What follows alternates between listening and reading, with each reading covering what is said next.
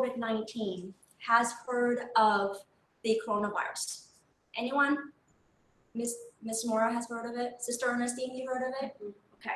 So yearly, we have four known human coronaviruses. And there are two alpha strains of it as well as two beta strains of it. Children as well as adults, every fall and winter will get the colds. We inevitably, it's seasonal. So every year, everybody gets sniffles and colds. Rarely do we ever die from these. And that's simply because it's been in existence for a long time. And we as humans are the carriers of this particular corona human strain. So we don't ever die from this. However, most recently, there have been two other beta coronavirus strains that we have come to know other than COVID-19. The first one was SARS. SARS hit in 2003, and we it, SARS is essentially a short name for uh, severe acute respiratory uh, distress syndrome. And if you look at the medical terminology, it's listed as SARS-CoV, short for SARS coronavirus. I'm going to point out the reason for that in a minute here. The second was MERS, which is short for Middle Eastern Respiratory Distress Syndrome. That was noted in 2012. That also is a beta coronavirus. And now we have SARS-CoV. I'm pointing out the obvious difference here between SARS-CoV and SARS-CoV-2, and I'll get to the reasons why we named it that but we don't call that SARS-CoV, we now just call that short for COVID-19. And this came about in 2019. So how did we first discover COVID-19? Back in December of 2019, the world first learned of a very atypical cluster of infection known as pneumonia in Wuhan, China. And at the time, reports were they perhaps thought the reason for this was the transmission of infectious diseases from people possibly been exposed to animals at the Wuhan Seafood International Market, which is really known for its exotic diseases in animals. In particular, they do sell some bats there. So the theory was that perhaps this was transmitted somewhere in the seafood market due to the fact that they have these exotic animals, and in particular bats, because bats are the carriers of the coronavirus. Um, however, recently, there has been a lot of controversy uh, in the medical profession as well as uh, in scientists. And what they in particular noted that the strain of COVID-19 as well as SARS are 87% genetically similar.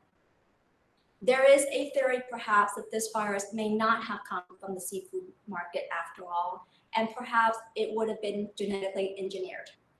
I will emphasize to you all that there is no medical evidence that this particular virus came from the lab.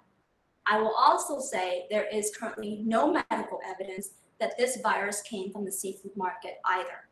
To this day, despite having known about this virus since December of 2019, we do not have an intermediary host.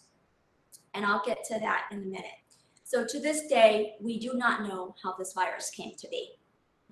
And the reason for that is because China has not allowed any of the international investigators or scientists to come into the country to actually study the original case.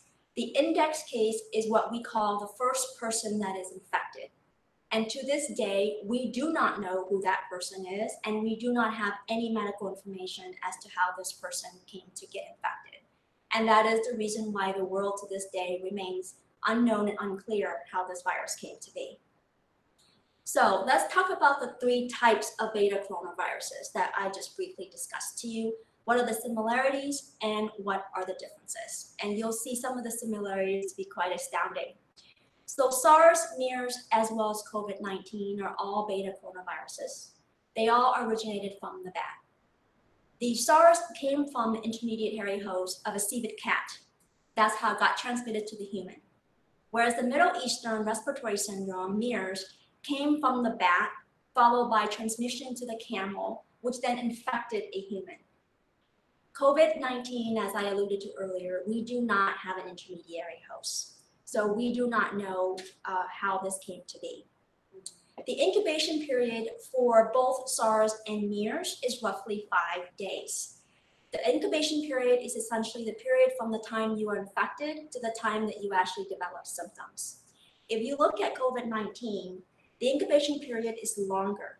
And to some extent, scientists are even saying maybe it can be as long as 14 days. But the average incubation period for COVID-19 is about 7.6 days. Also look at the R naught, which is the R0 that I listed there. Both SARS and MERS are quite similar. It's at 2.2, whereas COVID is higher at 3 to 3.5. So you'll ask me, what exactly is the R naught? The R naught is a terminology that scientists as well as infectious disease and epidemiologists use to describe an infection and, and how easily transmittable it is. So for example, the regular seasonal flu has an R naught between a 0.9 to a 2.5. What that essentially means is for every one person that has the flu, that person can then go out to infect two and a half other people, roughly. For COVID-19, for every one person that gets infected, they can go and infect three other people. This compared to the measles, which to this day remains the most infectious disease of all, with the R naught between 12 to 15. That is quite astounding. For every one person that the measles infects, it will then turn around and infect 12 to other 15 other people. So you compare that to COVID-19, Definitely COVID-19 is much more infectious than its predecessors, either SARS and MERS, but not as infectious as your measles. So that's a baseline for you to understand what exactly those numbers mean. Looking also at the infectivity as well as the risk factors for death, all three are the same. The highest risk factors remain old age and comorbid medical conditions. But you can also see COVID-19 has now infected close to 5.4 million people now worldwide, compared to SARS and MERS. SARS has been eradicated um, very early because we detected it very early. Eight months after we found it, it, we contained it and it's no longer here. MERS has not been eradicated uh, that I am aware of, however, it has been contained and I have not had any reports in the literature about that in the United States. Um, mostly it's first came in the Middle East and it remains in the Middle East. Are you all still following me there? Yes. So, how is this transmitted? the most common way to get transmission remains face to face through droplet as well as aerosol. And I'll explain the difference between the two. But droplet is basically what I just did cough um, talking, um, sneezing, singing, because when you talk, spits come out and those will inform in, in terms of droplet. To, in order for you to get COVID, you have to be exposed to someone for a prolonged period of time.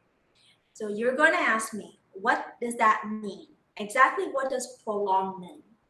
There has been no evidence to say that if you're exposed to someone for 10 minutes, you're going to get it, or 45 minutes.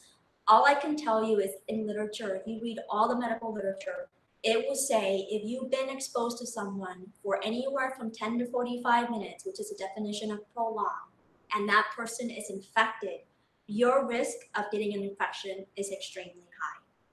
If you have a brief exposure to someone who has COVID, your chance is less. However, it still remains higher than if you had ex- brief exposure to someone who's an asymptomatic carrier with no symptom. And you will ask me why, which I will get to in the next few minutes. That has a, a lot to do with viral shedding. It's a phenomenon that happens, and I'll explain in detail when we get to that uh, part of our presentation. So, how do we also get it?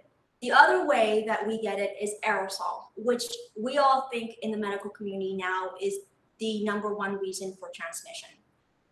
What has been shown in the laboratory setting is that the air, the air that which COVID travels can actually be suspended in the air for quite a significant amount of time. Mm. In the laboratory setting, it's actually been suspended in the air for about three hours. Um, that, however, is not real life condition. That is not outside, um, and it's mainly mostly a laboratory setting. That's why I, I said that. But we think that the primary reason for transmission is uh, aerosol. Maternal transmission is another way. So if a mother gets infected, usually most of the time third trimester, she can pass that on to her infant. However, in all the studies that I've seen published out of China originally as well as in Italy um, and some of the other countries, the infants usually did very well. They did not have infection, or if they did, they were very low, and most of the infants actually survived. Both mom and babies usually did well. The last one is this contact surface spread, which is quite interesting, and I'll get to this slide. Here's a, a very busy slide. But this particular study came out of the New England Journal of Medicine, which is a, a renowned um, journal that we all read on a daily basis here.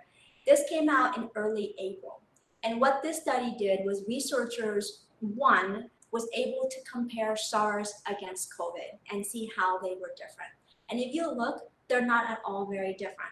And, and remember, 87% of the genetic makeup is very similar. So it's not a surprise that these two behave very similarly. So if you look in the red is the SARS-CoV-2. And here on the aerosol, it hangs around for about three hours. That's column A on your left upper right there, where it says titers of viable virus. If you also look, it remains on copper for about four hours. And on cardboard, it's about 24 hours that you'll still see some resemblance of a virus. On stainless steel, it can last anywhere from 48 to 72 hours, as well as plastic. So what is the significance of this study? Does it mean anything? We don't know. And the reason why we don't know is because in order for you to actually get an infection from touching a contact surface that has COVID-19, you have to know a lot of things. Number one, you would have to know exactly how much virus there is. What exactly is the inoculum rate? If the longer the virus has been sitting out on a surface, the less likely it is to actually be virulent. So in order for you to get an infection, you would purposely have to have a large number of virus left there on the counter, you immediately touch it, and then you go and touch your face with it and directly inhale that into your sinus. To this day, despite the 5.4 million infections, we have not yet identified anyone who has gotten COVID-19 from touching an infected surface. So even though it is good to know and understand that the virus can settle on particles surfaces and how long it stays and lasts, it's important for us to obviously maintain good hygiene in the environment. Um, but still, the number one transmission and how you get COVID-19 remains respiratory. That is droplet as well as aerosol. So let's talk about the slide. It is a rather busy slide, but it has a lot of information. And I think that if you can understand how this virus behaves, how it causes inflammation, then you can understand how we're going to be able to treat it and how we can mitigate our risk. So let's look at the slide on top here, which says A, how the COVID-19 enters into your respiratory cells. So if you look at the microscopic picture of COVID-19, you see that it has these spikes. These spikes are called the S protein or the M protein or spikes. And it makes this virus particularly efficient at attaching itself to the ACE receptor you see there. These ACE receptors are basically attached to your sinus tracts as well as the epithelial lining of your lungs. So some medications for high blood pressure inhibits this particular receptor. And this may be important and, we are studying this still. So I'm pointing out some few things for you as we go along here as far as targets for potential treatment. But this virus attaches itself in the sinus, in your lungs. It enters and it uses your own body to replicate, where it self-reproduces in the millions and millions of copies. The more copies that it makes, the sicker you become. And the reason for that is you will go into part B, the bottom screen there, where you'll see the early stage of COVID-19. Once the virus gets replicated and it releases all these viruses called virions into your, your bloodstream, then your system, your own immune system start to react to it. So the part where the virus releases the, into your body, that is known as viral shedding. And I'll get more into that process here in the next few slides. But just know that the minute the virus gets released into the bloodstream, your body has an immune response and there are two different types. The first one is going to immediately react by introducing and releasing what we call special chemicals to try and attack this virus. So I'll point out to you that these types of reactions or special chemicals, their names are listed here. You'll see the TNF alpha, the IL-1, and IL-6. I'm pointing this out to you specifically because later on when I talk about treatment, you will understand why specifically we are using some of these medications the way we are to target these. So these special chemicals then produces more inflammation. So from the picture, what you're seeing is your body is producing a significant amount of inflammatory response to try and fight off this virus. As the disease gets worse and patients get sicker, what you'll see is that the body now becomes so overwhelmed with the inflammatory response that the membrane gets permeable.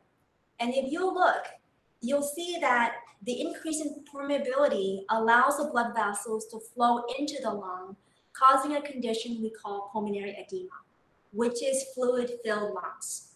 You also see that because as part of the inflammatory response, you'll see a cascade of reaction where it activates your own body's ability to um, cause blood clots.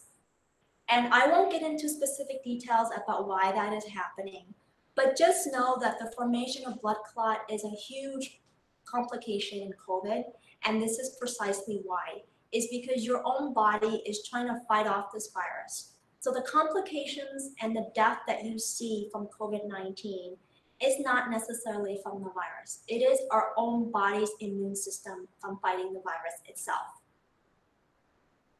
So viral shedding. You've heard me say this word quite a few times. So what exactly is it? So initially when the virus goes in and attacks your own nasal uh, cells as well as your lungs, you'll see that around day two or three of the time when you're exposed to before you actually have symptoms, this is when the virus starts to get released into the bloodstream. And that is when it gets shed from your own cells to the outer part of your body. And that's what we call viral shedding. Viral shedding is what makes you infectious. Okay? And just remember it happens before you have symptoms. I'm pointing this out to you because later I will tell you why it is important that we wear a mask and it is precisely because of this phenomenon called viral shedding. Is before we ever even know we have the disease, this virus is already starting to peak in terms of its transmission and its infection. So pre-symptomatic transmission is basically anyone who's been in contact with someone who has COVID but does not know they have COVID before they have symptoms. These patients usually will develop symptoms later about maybe one to three days after uh, they've had, they knew or have been in contact with somebody. This is different than patients who are asymptomatic, meaning that these patients never even know they carry the virus, never have any symptoms, didn't even know they had it, and they're walking around healthy with nothing. You will ask me why that is, and this will take an hour to explain, but I will do the best I can later to explain why that is. So I alluded to earlier that part of the problem with COVID is that our immune system is doing the best that it can to try and fight. So we have two different types of an immune response. We have the innate and the adaptive. The reason I'm bringing this slide up and calling it to your attention is that in order for you to understand how vaccines work, you have to understand your immune response first. So your innate immune response is the immediate response. That's what you saw in the earlier slide. When the virus comes in and attacks your body, we have our beautiful skin to protect us. We have the mucosa of lung linings to protect us. And in the first phase, our immune response immediately, when it becomes invaded with a foreign host or a, a, virus, it just starts on attack mode. It will send out all the signals that it needs to for everything to respond, and it's on literally a hunt. You're, I'm coming, you need to come and get me help as soon as possible. So it's non-specific, but it's quick. The adaptive immune response is slower to respond. However, the adaptive immune response is what we need to develop long-term immunity. it develops antibodies. And vaccines are a big part of this because when we develop vaccine, we allow memory cells to develop, therefore creating immunity. The adaptive immune response creates memory cells. This is one reason why some of us have certain illnesses that we only get once in a lifetime. Once we get it, we don't get it again because our bodies remember them, they develop memory cells so that if it comes and attacks us a second time, the body knows exactly how to kill this virus. So the adaptive immune response is critical in the development of memory T cells and is critical in the vaccines. So now that you have an understanding of exactly how this virus gets to you, what are the symptoms?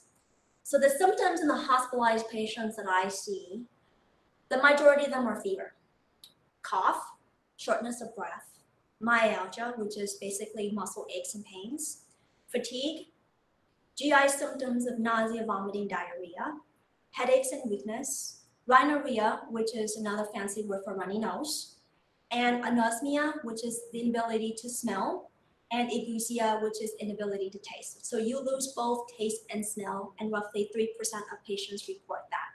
Anorexia is weight loss, and patients have also report weight loss. So in looking at the timeline of this disease, this disease is none I've ever seen.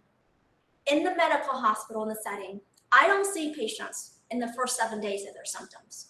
I see them after the seven days of symptoms when they become severe. So if you go back and just kind of picture that slide I had of the pathophysiology of the severity of disease, at the bottom of that slide, I explained that as it gets worse, your membranes get permeable and you end up with pulmonary edema, which is swelling of the lungs amongst other things. So that usually occurs at around day number 10 or 11 of an illness. So for the, for the most part, the incubation period, as we discussed, is the period before anyone ever has any symptoms. You don't know you have it. Day zero is a day that you have symptoms. And for the most part, all the symptoms are listed. By the time you're through with day number seven, most patients usually do well. And if you're able to pass day number 10 or so without having any symptoms of shortness of breath or difficulty breathing, you should do well. 40% of patients, however, that have COVID develop shortness of breath by day number seven, which is why I say patients don't see me when they have the symptoms the first seven days. They come to the hospital because they cannot breathe. And the large part are hypoxic and they need oxygen. And that is the reason why I admit most of them to the hospital. Of those patients, 14% have really severe illnesses and 5% of them are critical. That means these patients are in the intensive care unit on life support. So looking at the triad of uh, the triangle of this disease, roughly 80% of patients that have this are either asymptomatic or mild cases. But you get to the later, the upper part of the triangle, and you'll see 14% of them have severe diseases and roughly 5% death as far as mortality for this disease. So what are complications? This slide looks uh, pretty uh, awful as far as complications are concerned. And if you go back and think about what I said about the pathophysiology of this disease, you can understand why these are complications. So the most common is pneumonia, followed by acute respiratory failure, which is inability to breathe. You also can get liver failure, uh, kidney failure, heart attacks, strokes, um, you name it, the list goes on. The, the worst complication from this disease, however, is a cytokine storm, which doctors refer to. If you get this, the mortality is 100%. And what cytokine storm is, is basically your body is so it's overcome with this virus and it's trying to fight it so hard that it releases all these chemicals these macrophages lymphocytes t cells to try and fight off this disease and the overwhelming in- inflammatory markers and inflammation in each organ causes multi-organ failure so if this happens and you develop a cytokine storm in covid-19 you will not survive So here, I like to show off some imaging studies. Uh, you can see that on a top part, a normal CT scan, both the top and the bottom are normal. In a normal looking CT, uh, basically the lungs are black. So you that this indicates air is supposed to be. You also see that the heart is nice and white because we gave this person contrast. So blood should be nice and white here on the CT scan. On the outside is basically your muscle. So this, this is a considered a normal looking CAT scan. And if you also see in the bronchial tree is black, that's because that's air. It's supposed to be black and that is normal. Here is imaging studies of someone who's got COVID-19 pneumonia with ARDS. You can see on the top A and B that it is not nice and black. The lungs are completely covered. And if a radiologist were to read this, it, they would say this is bilateral, in other words, both lungs, ground patchy infiltrates. And that's exactly where it is. It's patchy and it's in both lungs and it's ground glass. So you look at C and D, um, you can see that it's, it's looking almost nodular. Um, it's not at all nicely uniform. So this is a classic picture of COVID-19 pneumonia and ARDS. And I chose this picture because this looks exactly like my 85 year old that had this COVID-19. Hers was actually even a little worse and it covers almost all of her lungs.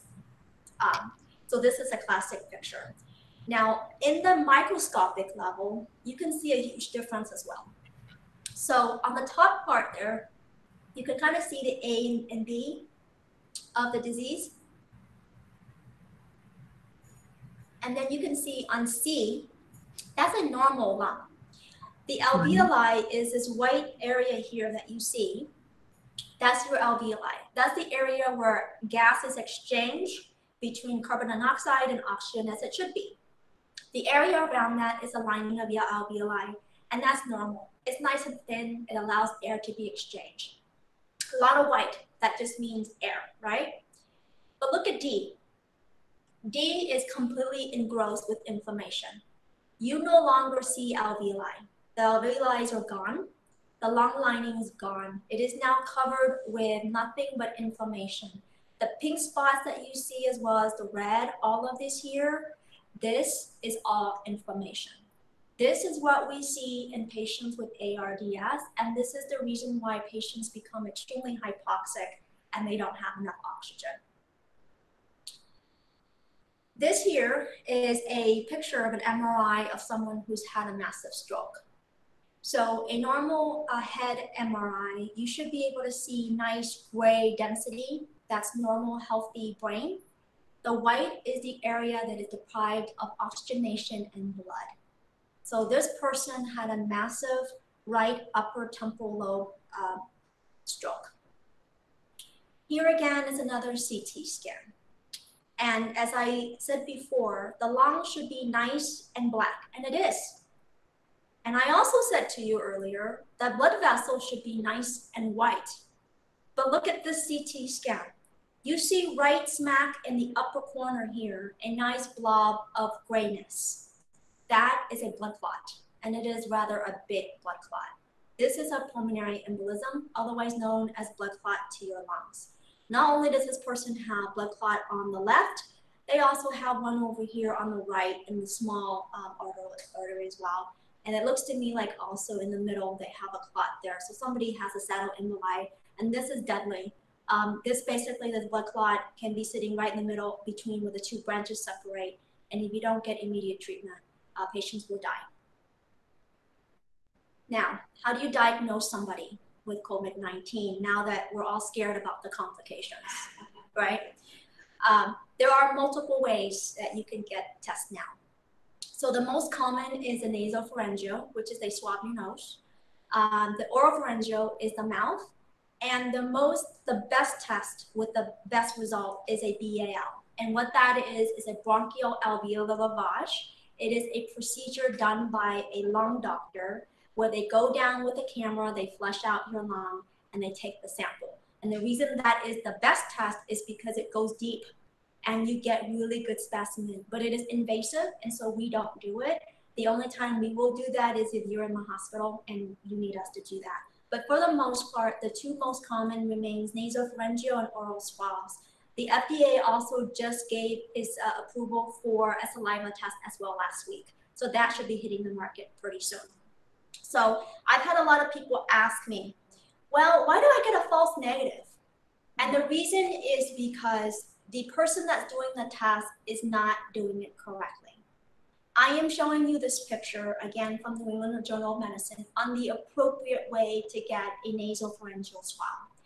If you ever have to have this test, I want you to remember one thing and one thing from this lecture.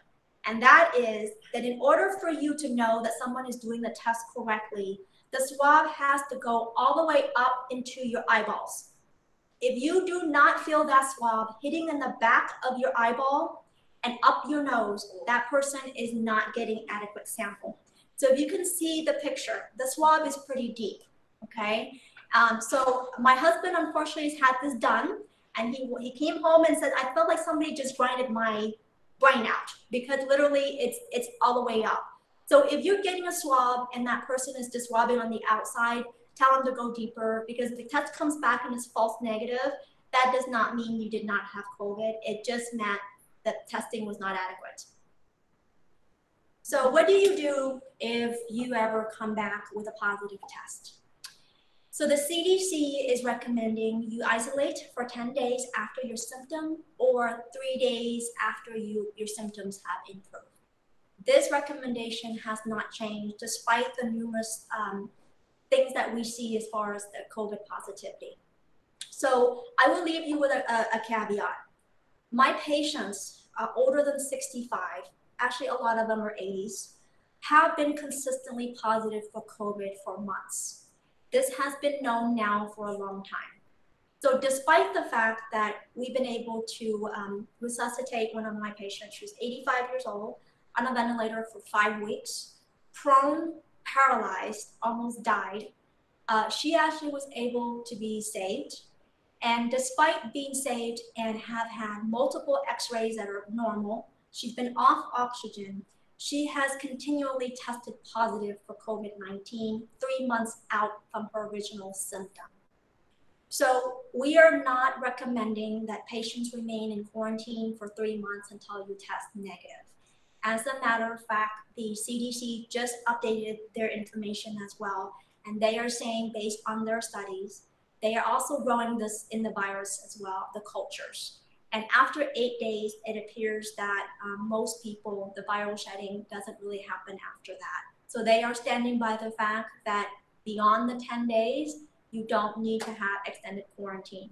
Once your symptoms resolve, you may wear a mask and go back into general society. Exactly for the reasons that I explained is you cannot test continuously because these patients will stay longer. The sicker they are, the longer it would take for the test to clear. If you suspect that you've been in contact with someone who's had COVID, what do you do? Um, you should quarantine yourself before you ever even get your test results back. And the reason for that is in the community setting, uh, some of us have been lucky and we've gotten our test results back in two or three days. Some of us took a week. So we are not going to have you go walking around the streets if there is a chance that you were exposed to someone with COVID. So for that reason, if you know that you might have been exposed to someone and they've already been confirmed COVID positive, please do the responsible thing and quarantine yourself for 14 days, despite what the test results may show. So now um, let's move on to treatment. I've listed a long laundry list of treatment that I'm sure many of you have not heard except for hydroxychloroquine. So let's go and discuss some of this very briefly. The main treatment for COVID is still oxygen therapy.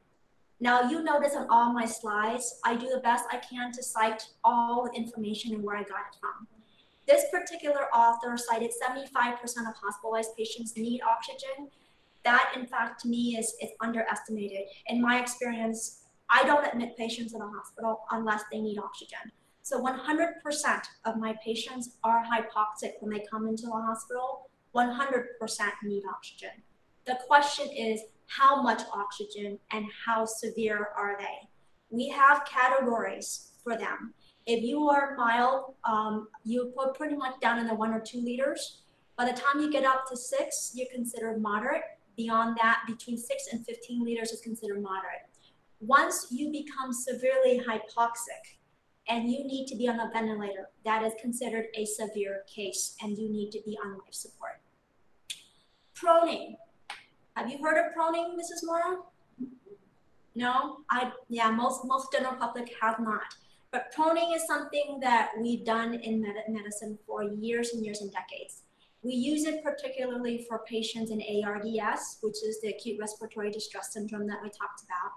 And we don't use it for everybody on a ventilator unless we have problem oxygenating them.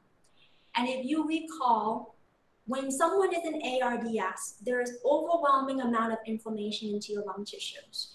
And if you look at that microscopic picture and think back of those pink, um, the, you know, the little microscopic neutrophils that you see on there, it's not allowing us to oxygenate you. So we can give you 100% high flow, high pressure oxygen. We're still not going to be able to oxygenate you. And the reason is because when the lungs get scarred, it becomes extremely stiff and it's not compliant. So what we found is that if we actually lie you on your belly, we lower the pressure of your chest and we lower the lung pressure. And when we do that, we actually get better oxygenation. So one of the things that we've done um, in ARDS is we've done proning for many, many years. It works extremely well, but it is also extremely invasive. We paralyze you and we use a special machine to turn you upside down for 18 hours. So you're completely paralyzed, you're completely sedated, you don't know that we're doing this to you because you're severely ill. In COVID, at my hospital, we implement a self-proning protocol for patients who are awake, alert, and oriented. If you're able to prone, this does improve your oxygen significantly.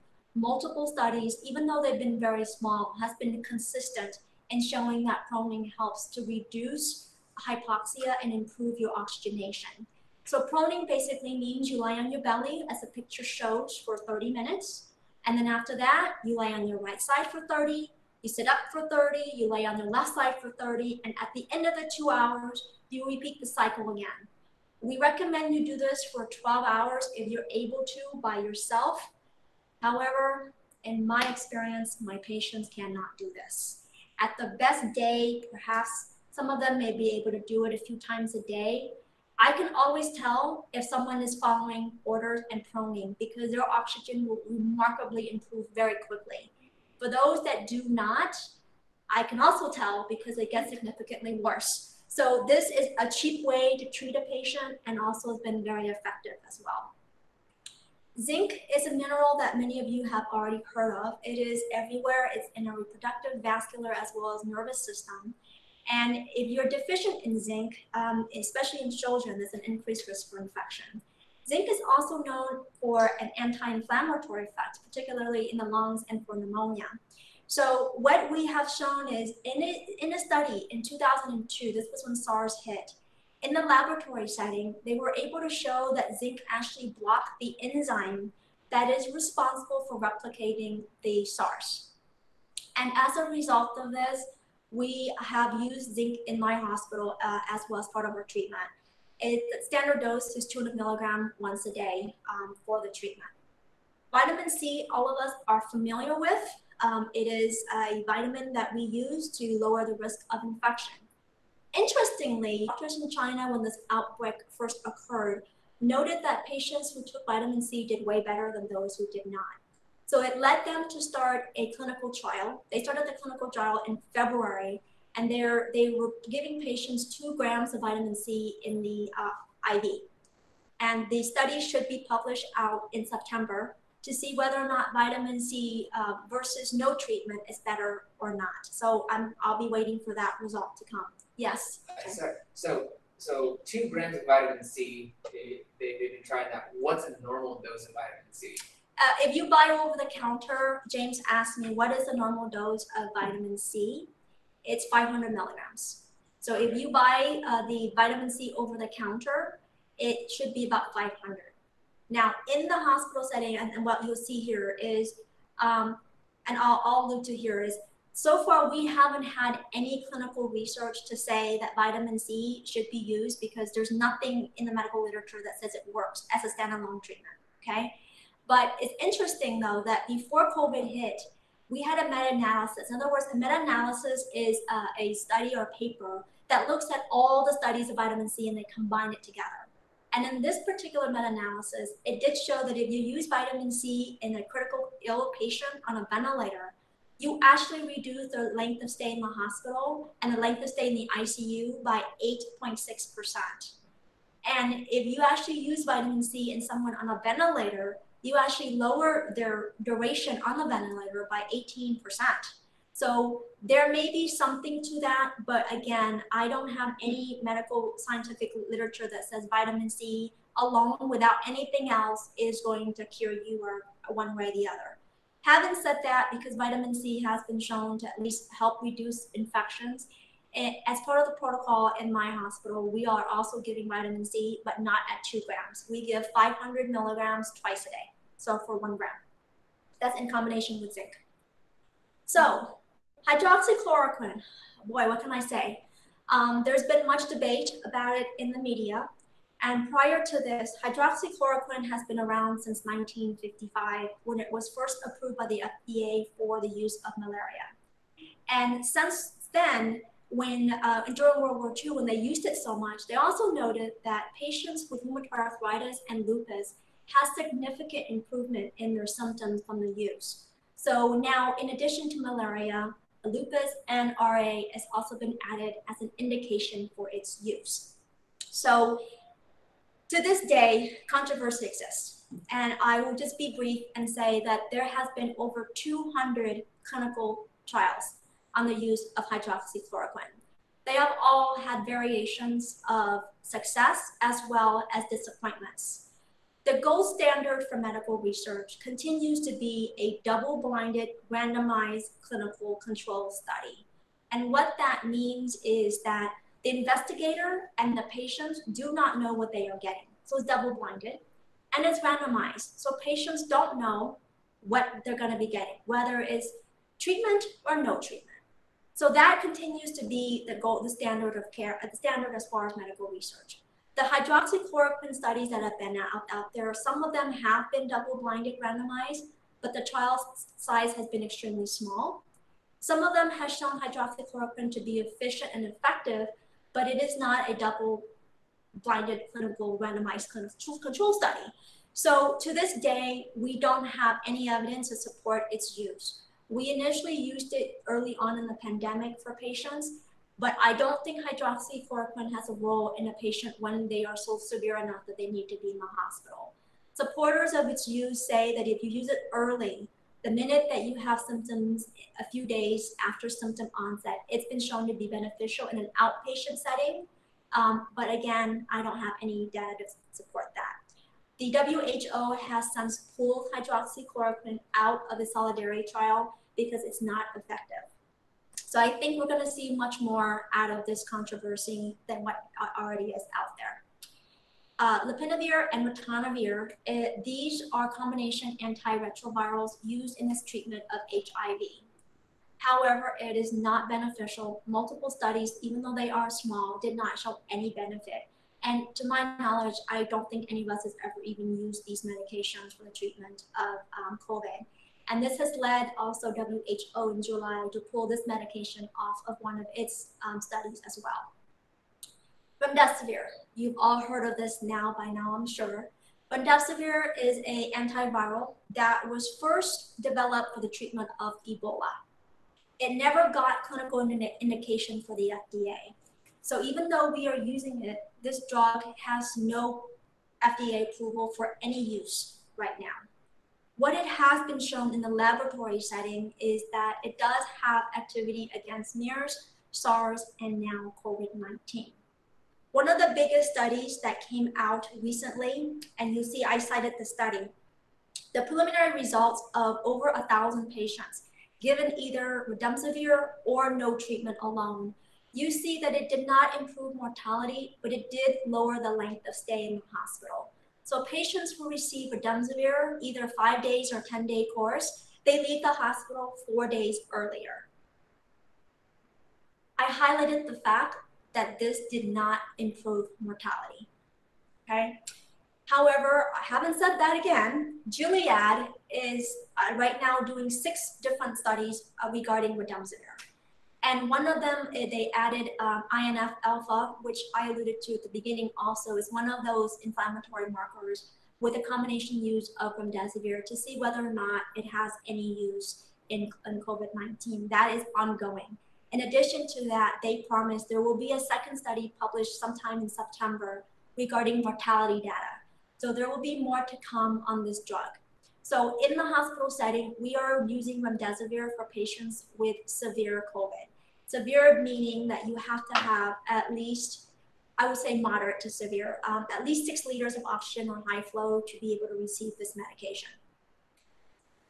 So IL-6 inhibitors, I kind of gave out that name earlier for you, and this is again one of those inflammatory markers.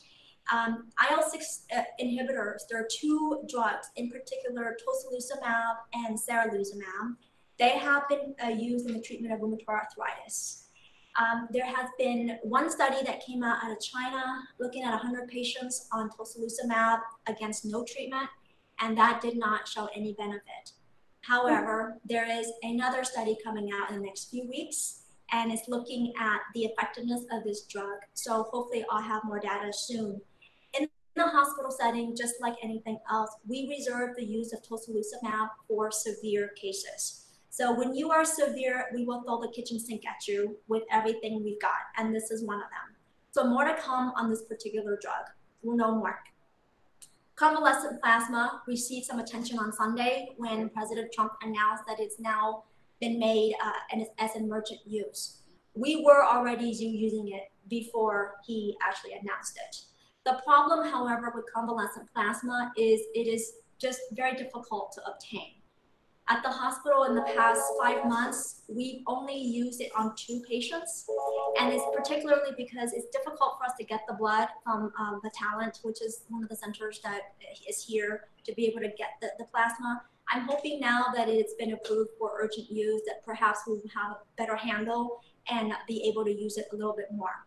I haven't said that too, um, they also did a study uh, earlier in the pandemic of 103 patients using convalescent plasma or no treatment. And again, they did not show any improvement in mortality uh, or even the length of stay for COVID patients. But the number was so significantly small that you really can't make heads or tails how this will go. So we are promised there will be another trial coming out soon with bigger numbers of patients using convalescent plasma to see if this is going to be a benefit. So again, more to come. Now, so you're gonna ask me, this is all gloom and doom. Nothing's worked, right? Except for one, steroids. The only treatment that has been shown to be of any clinical benefit in improving your chance of surviving this disease is steroid, and in particular dexamethasone. It is cheap, it's $10 per treatment. That is the best news that I think I can hear.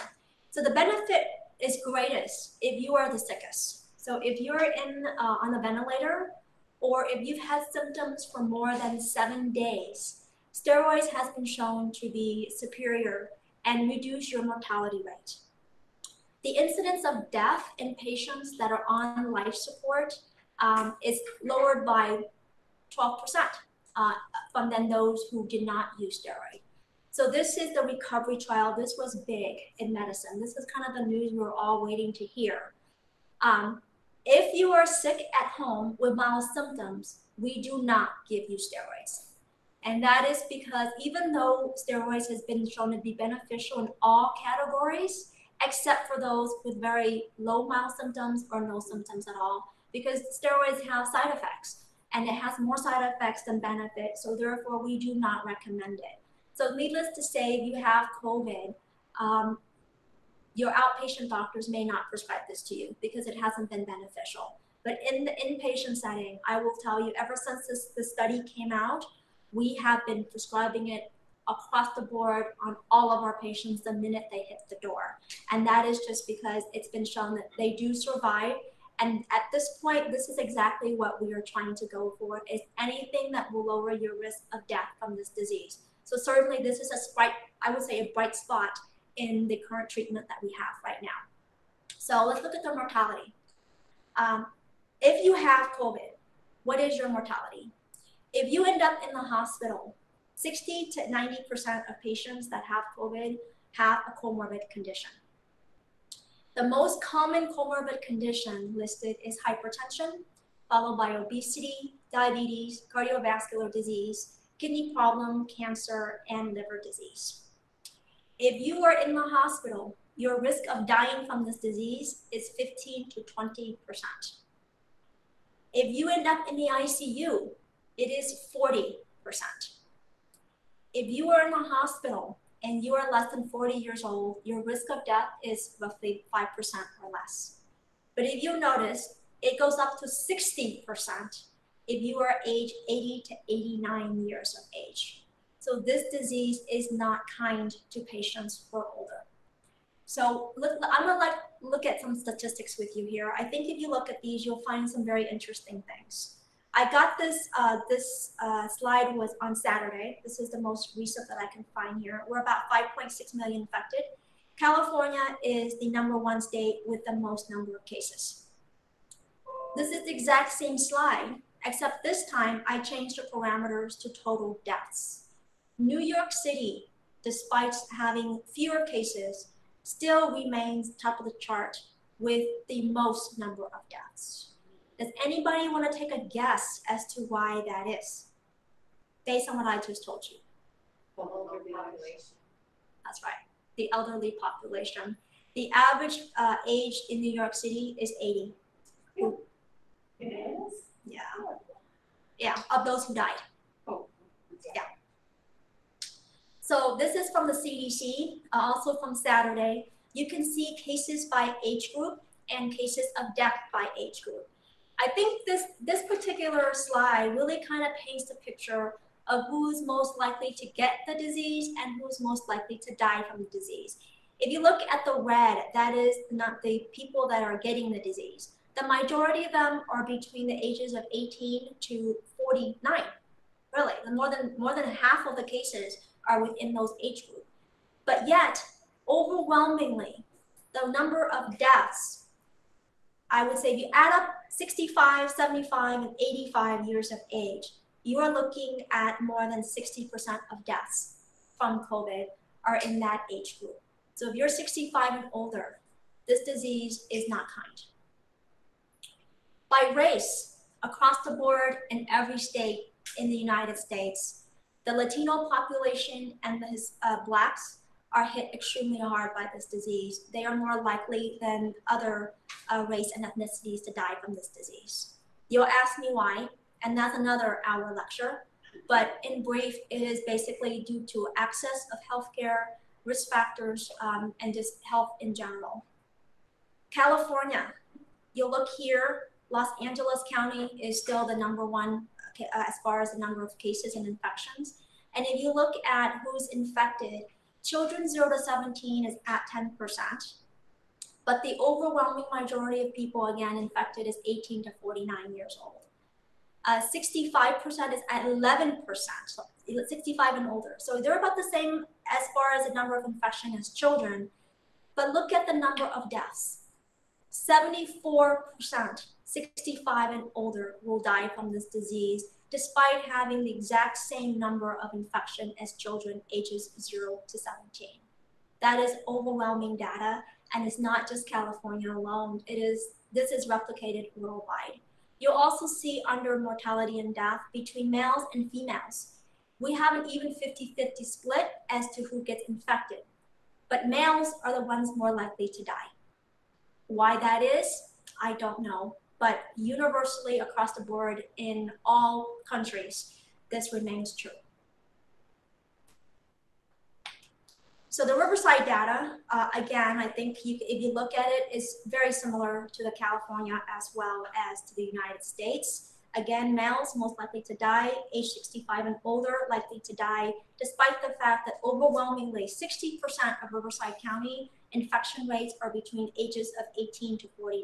So this mirrors everybody else. And here's a Riverside comorbid condition. 60% uh, of those who have died from COVID in Riverside County have a comorbid condition. That is either diabetes, high blood pressure, obesity, some sort of a neurologic or kidney problem. So again, this echoes everyone else. The death statistics is pretty much the same by age group. Even amongst younger children and, and patients who died between 15 and 24, 67% of them have a comorbid medical condition. So if you have any of those comorbid medical conditions, you are either in the moderate or a high risk group uh, from this disease. So let's briefly talk about antibodies and what that means. We are finding currently in medical literature that the antibodies are not lasting very long. Um, they, at the most, the more severe you have the disease, the longer the antibodies will last. Patients who are asymptomatic, because they have a less chance of the virus, less copies, they're less sick, the antibodies are not sticking around very long.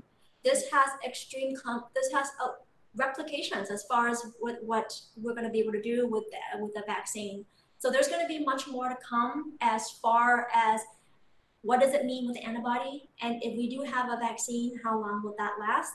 So these are questions that remain unanswered at this time. So let's move on really quickly to children and how they are different than adults. They have their own set of complications. So at this time, we have about 2 to 5% um, of kids being infected from COVID-19. And the majority of them have very mild symptoms. Basically, some of them don't even know they have symptoms. That just because they, they're thinking maybe it's like a, a viral cold or a, an illness. Um, right now, less than 7% of those children infected need to go to the hospital compared to adults with significantly uh, less mortality. You probably have recently heard of a very rare condition called uh, multi-system inflammatory syndrome. And this occurs in children who've been infected with COVID-19 anywhere from two to four weeks after their initial exposure.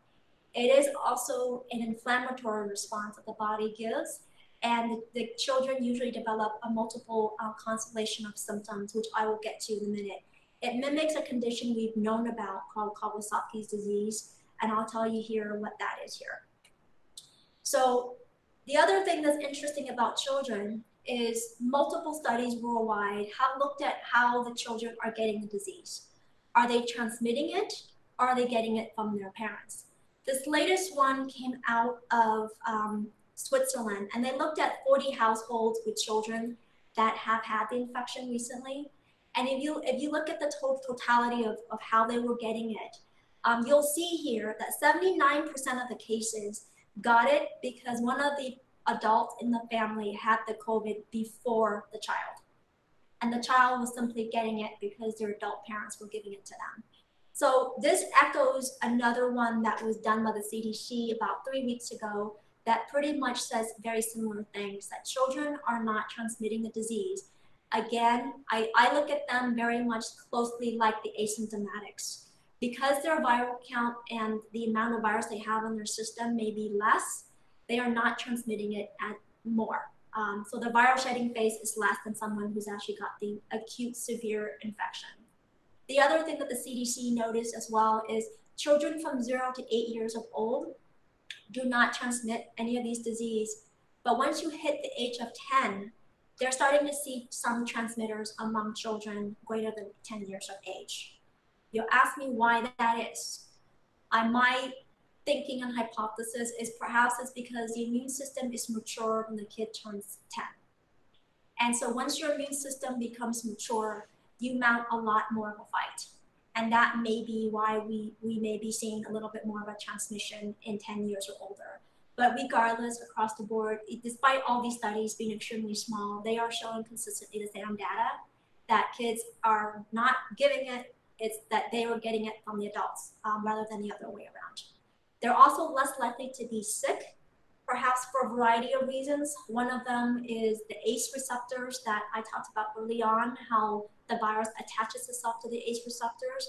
There was one study that looked at the fact that kids had lower levels of ACE in their sinuses than adults. And this is perhaps the reason why there's less of an infection than, than the adults. So there are multiple, what we think is hypothesis for that. So let's talk now about this syndrome that I alluded to earlier. We have about a thousand cases reported worldwide of children having this disease and it occurs anywhere from two to four weeks after the initial COVID infection. This is a lot rarer. It's about two in 100,000 cases compared to actually children less than 21 years old, they had a higher incidence, anywhere from 322 cases per 100,000. So this is extremely rare condition, but because it is rare and is noted, we do have to be aware of it as providers. And again, Hispanics, Blacks, and Asian children tend to be infected by this particular disease. So what is it? It is basically an overwhelming inflammatory syndrome that, for the most part, affects every single organ. The primary organ that it affects is the heart. Kawasaki, if it's a straight up pure Kawasaki's disease, it tends to go for the heart muscles more than any organ. But in MISC, it can occur in lung as well as kidney, liver, as well as the heart. So it is multi-system. That's why it's called multi-system because it affects every single organ. And, and it straight up Kawasaki disease rare, rarely happens in children less than five years old, but associated with COVID, you can see it in young children as, as young as actually up to 21 years of age. So there is some um, some differences between the two. So the treatment for this is steroids and IVIG. So let's look at these pictures. What is it? So children with Kawasaki's disease will have a strawberry tongue. Their tongue is just beet red with spots that look like strawberries. Then you also have the red eyes, and that's because the blood vessels are affected. So once your blood vessels are affected, every organ's affected, including you know your heart as well as everywhere else. So this is what you see in a child with Kawasaki's. You also see their hands and feet peeling, and you also see red swollen hands and feet as well. So these are classic Kawasaki disease, and this is this may be what you see in a child with COVID-related MIS-C syndrome. So let's go now and finish up our talk on how do you mitigate your risk. And to me, life is about mitigating our risk, right? We take risk, but we also want to mitigate risk. So how do we do that? I'm sure you're tired of hearing these three things, but I really can't stress them enough. Social distance, wear your mask, and wash your hands with soap and water. Notice here, I did not write hand sanitizers. And the reason for that is hand sanitizers do not kill a good portion of spores and anaerobes. So, so hand sanitizers are a good substitute if you don't have access to soap and water, but you still should, if you can, wash your hands with soap and water for 20 seconds or more. Also, if you buy hand sanitizers, be aware that the FDA has multiple recalls right now because of fakes and knockoffs.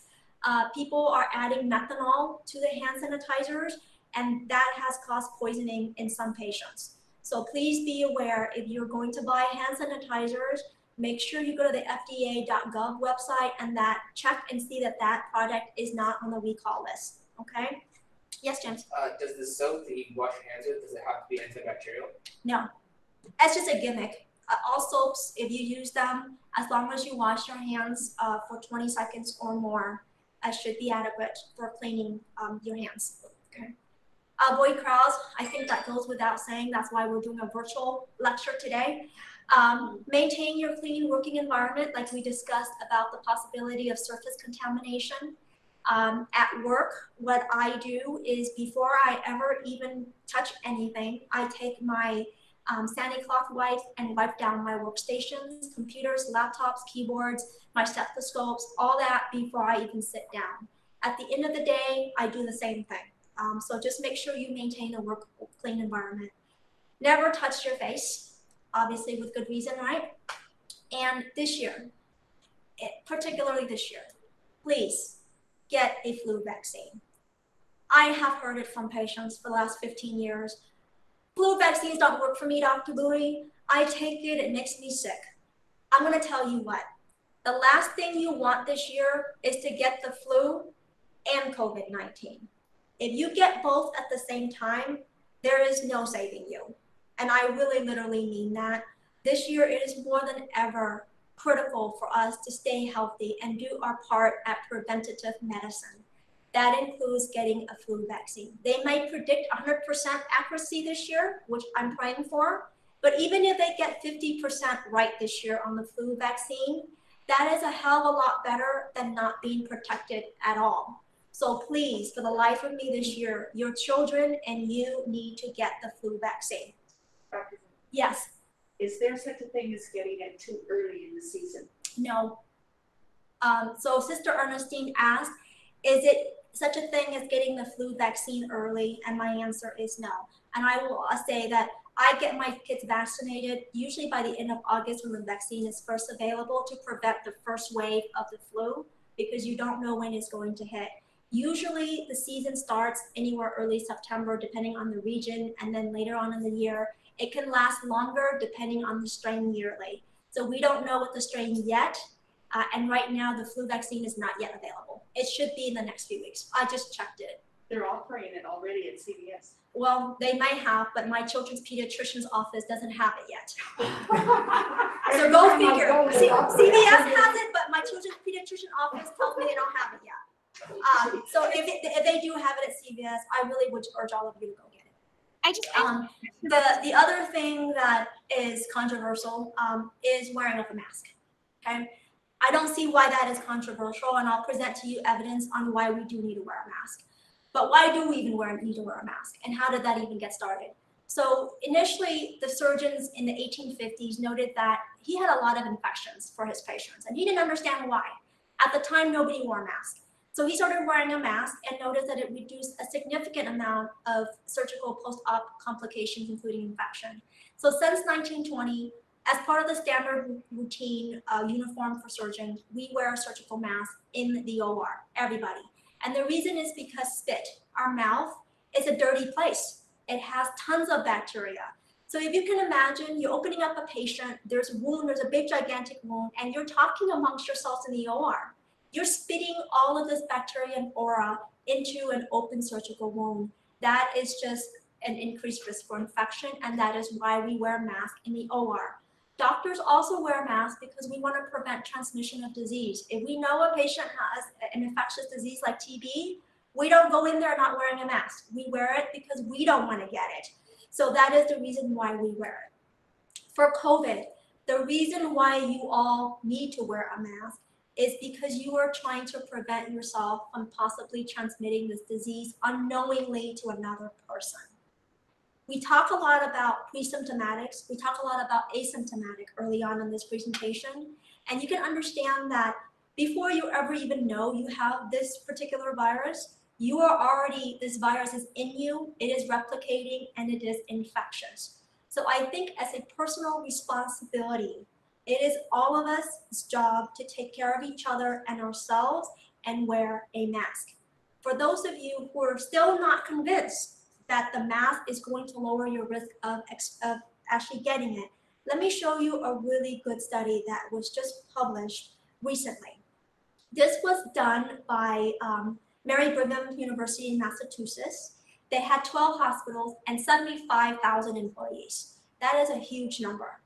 Now, if you look in the pink section, March 6th to March 25th, before they implemented universal masking. Universal masking not only includes the providers wearing a mask and staff, but also patients. Everybody in the hospital be wearing a mask. They started that on the 25th. Before they instituted the universal masking, they had an infection rate as high as 21% a day. After they instituted the universal masking, you can see in the green between April to 11 to the 29, the numbers started declining. So they went from roughly having about an average of 4% infection down to less than 0.4% infection. So it is a significant decline at reducing the transmission of COVID at their 12 hospitals. So it does work, provided we use it adequately and safely and we know how to put it on and take it off. So now that you're convinced you're gonna wear a mask, we have another problem. Which one do we wear? Because there's tons of them out there and the it's important to know which material is going to give you the best protection. The N95 is still the gold standard because it does filter out 95% of all particles. The surgical mask is the next one. However, the cloth mask, Duke University just released a study two weeks ago. They looked at 29 different types of masks. And the best one was still very similar. It's a cloth mask, three layer cloth mask. So if you have a good cloth mask that has three layers, it is going to give you as good of a protection as a surgical mask. The least effective is a bandana. So if you need to wear a facial covering, a bandana is not gonna be it. So how do you wear a mask? I have seen people wear masks in all different shapes and all different sizes. I just thought I'd give you guys a good laugh and looking at some of these lawmakers wear their mask. The first one wore it over his face. In order for the mask to be appropriately worn, you should always have the mask covering your nose and your entire mouth, this whole area. You should never have the mask cover any other part of your face but your mouth and your nose. Um, I, I'm laughing at, at um, Nadler there with the mask on top of his forehead. I've seen the mask also on people's faces, their necks, their head. The reason you don't want to do this is because you're contaminating your mask. So if you can imagine, the mask is between you and spit, and then on the outside is exposed to the outside world. If you're touching the inside of your mask, you have contaminated your mask with your dirty hands. If you take the mask and you put it on your head, you have just contaminated your inside of your mask with whatever it is that's on your head. And I've also seen people when they eat take their mask and put it down on their neck and chewing food and having food particles be on the inside of their mask and then breathing that in.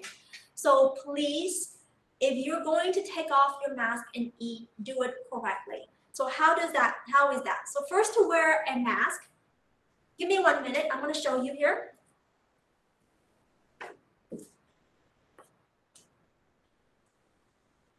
So to effectively wear a mask, take the two earlobes and actually put it on like this. And then pinch your nose and make sure it's completely tight on. Okay, this is how it should be done. I did not touch the inside of my mask, I touched the earlobes. If you have to take it off because you need to eat or you gotta breathe, you can do one of two things. You can just take off one earlobe, and then when you're ready to, to put it back on, put it back on like this. That way you never touch the inside of your mask. If you have to eat and you have a cloth mask, feel free to take it off again using the same technique. Two hands with the ear loops off, never touching the inside. And if you have a cloth mask and you want to reuse it again, just fold this in half. The outside is still exposed to the outside and you've never touched the inside and just put it down, okay? That is the best way to do it. You never want to touch the inside of that with your dirty hands.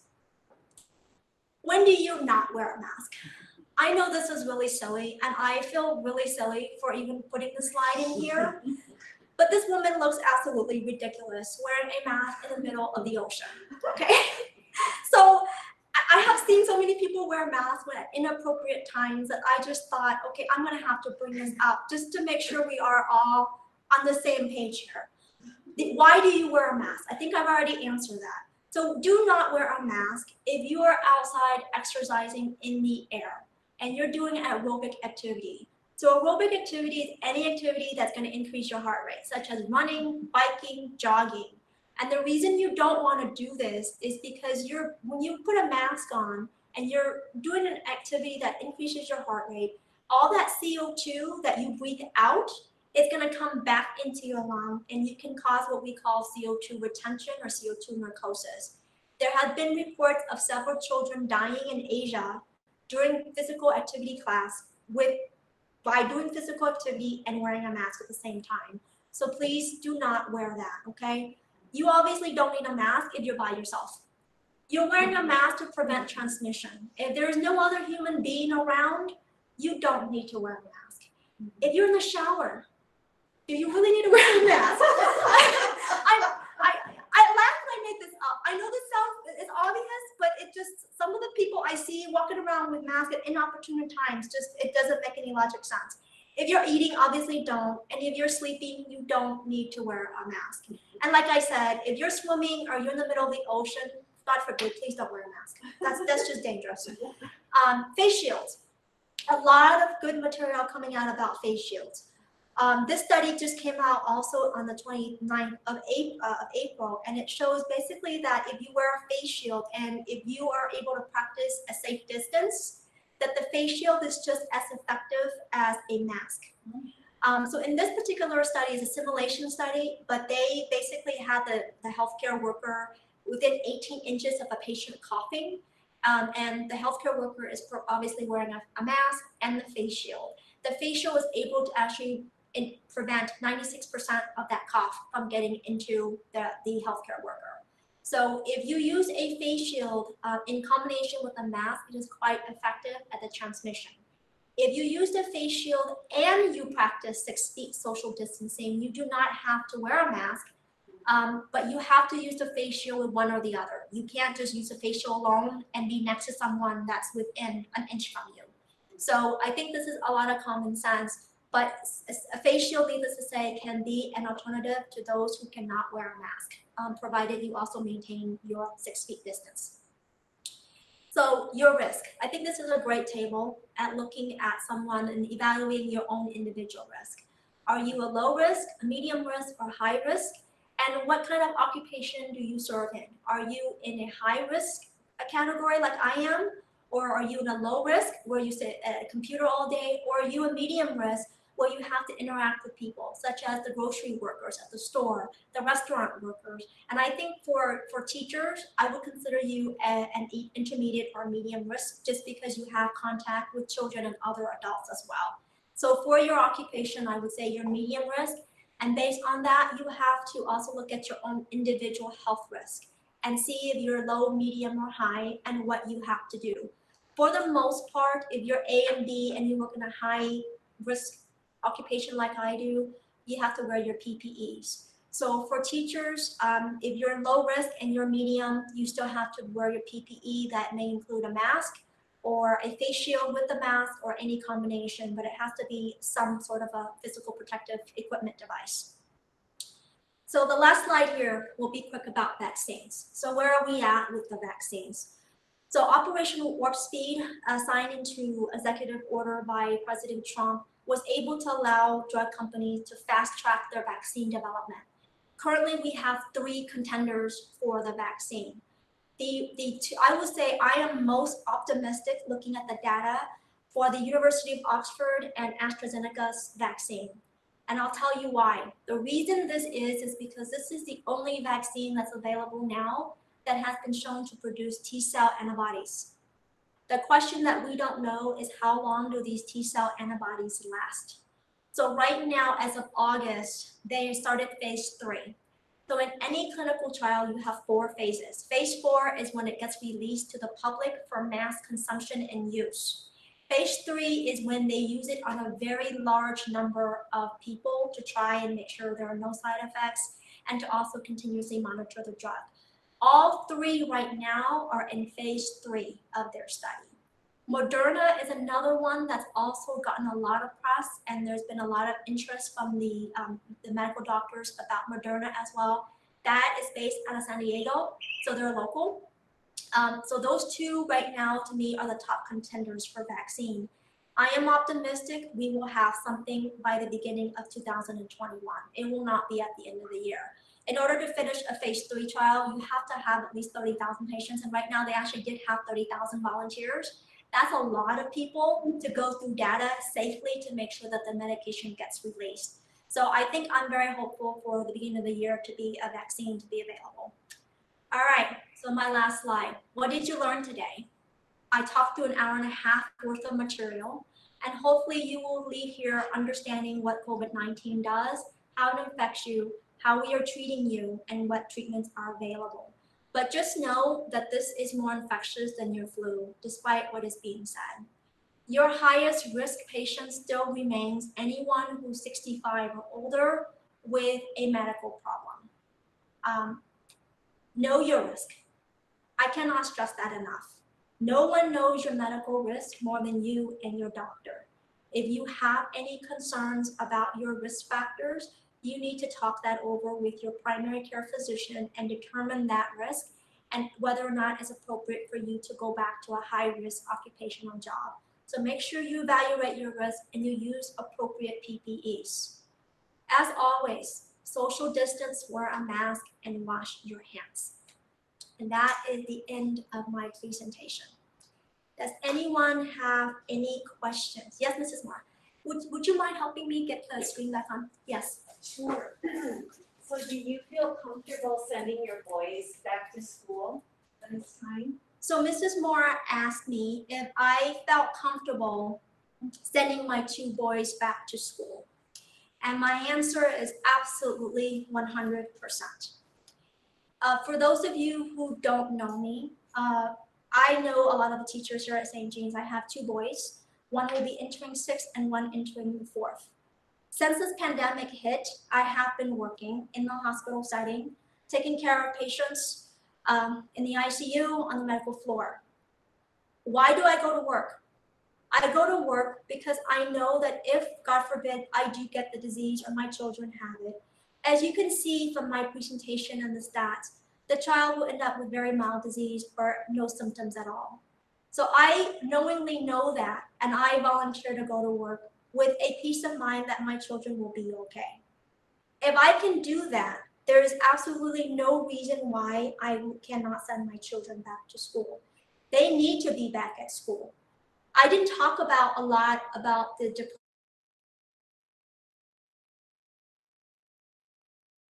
studies out there published in medical journals to really suggest that children, when they're being locked down, have significant anxiety and depression. It is not good for their psychological and emotional well-being to be at home. So I wholeheartedly support sending my kids back to school. And that is the reason why, if we are lucky enough to get this waiver approved, I am planning to send both my kids back to school. Thank you. Do any of you have any questions for me? Um, I have a question. Yes, Mrs. Lichner? Um, you mentioned physical activity and not wearing masks. What does that mean for our students during PE and P and uh, recess? So if they are doing any type of physical activity and they are in PE, I do not recommend wearing a mask. Instead, uh, I would recommend doing more of a social distancing type of activity. So right now, we are, I have Brody in soccer and we are practicing soccer. We're doing tennis and everyone is maintaining distancing. So they don't get in each other's face. They practice kick, kickballs uh, safely from a distance. There are ways to still keep our kids healthy by doing sports but not, and also maintain our distance and appropriately. So for PE in particular, I do not recommend wearing masks.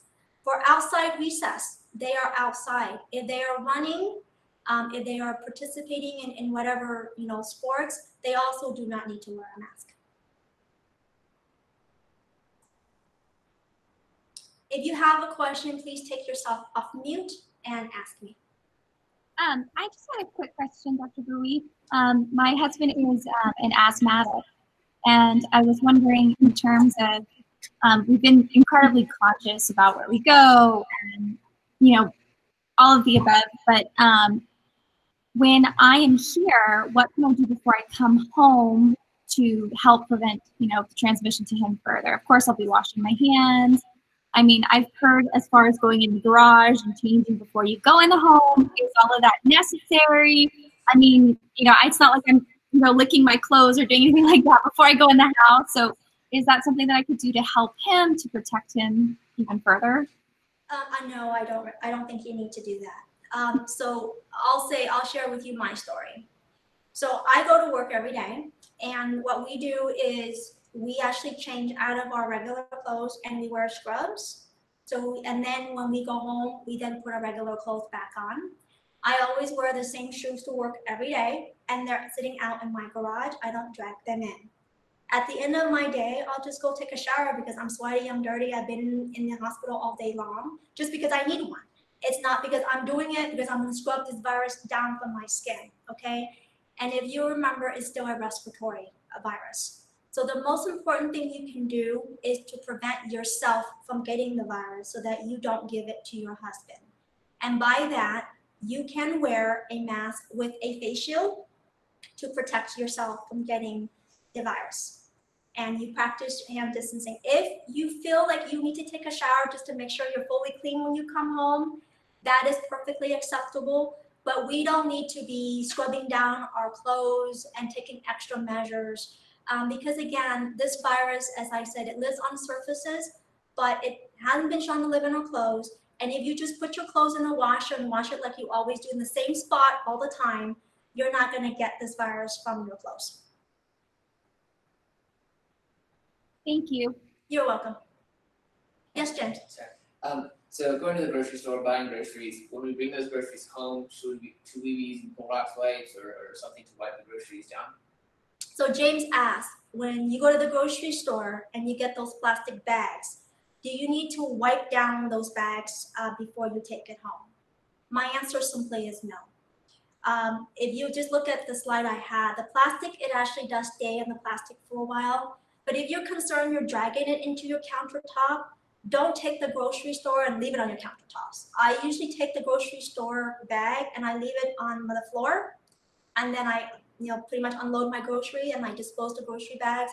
I wipe the floors down, you know, weekly just to make sure. But if, if you're that conscious, then you should, that's something to consider. But if you want to put the grocery bag on the on the countertops and then wipe the countertops afterwards, you can do that. But you don't need to wipe the Clorox bleach with the plastic bags.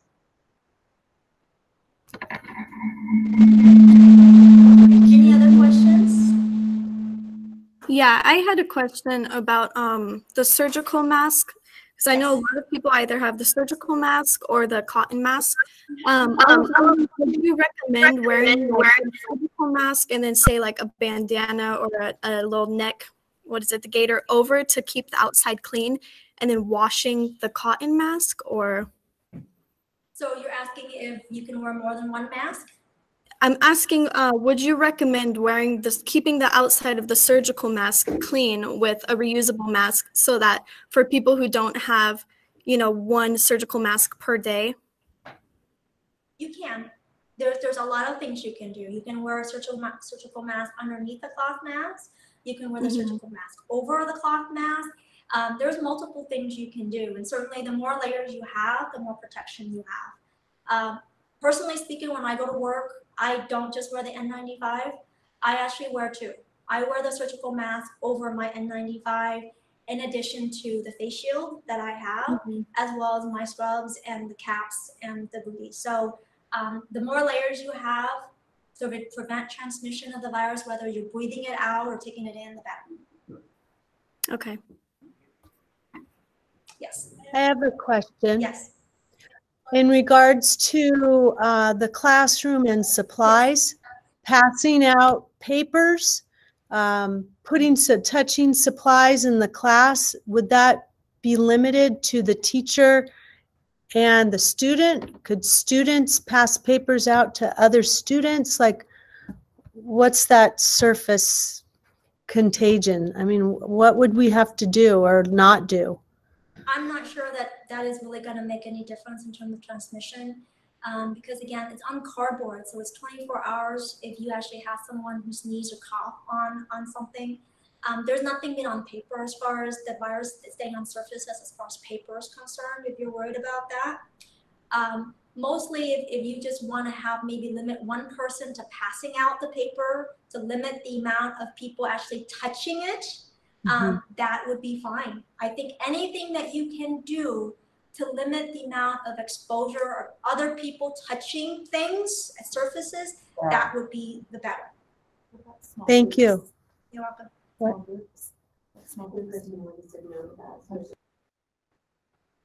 Any other questions?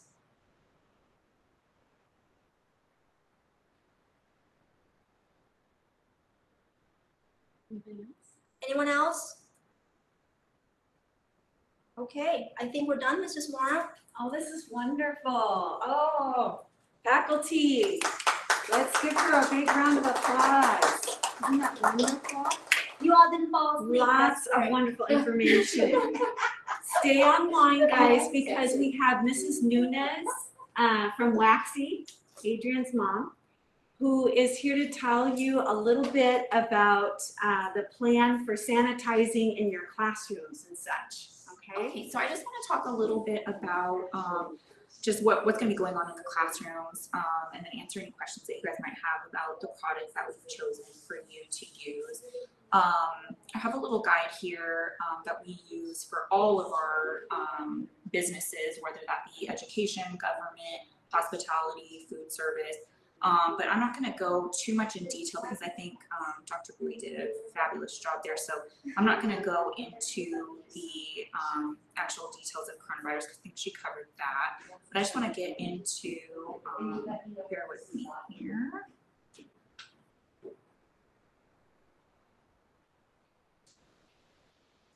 So we just talk about, um, you know, what to do to keep yourself safe. Um, hand hygiene is a big part of that. Obviously, I think she did a great job covering that. So I just want to get into the disinfectant portion here.